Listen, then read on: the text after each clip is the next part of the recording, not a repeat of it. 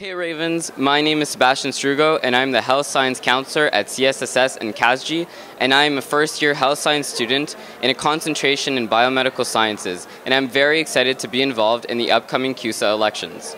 I will be running for the position of Science Councillor as I believe I will be a good representative of the Faculty of Science students. Don't forget to vote January 28th and 29th on your email accounts and remember, hashtag Srugo for Science.